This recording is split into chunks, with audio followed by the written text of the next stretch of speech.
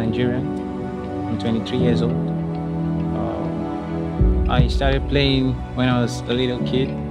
So far, I've had a couple of achievements, and I'm really grateful to God for that. And I'm also glad to be here in Uthai Thani FC. I came to Thailand because I wanted to feel a different way of playing, and also a nice place and nice players. I'm really so glad to be here, and I can't wait to start the season. I'm looking forward. Can't wait. Let's go, Uthai.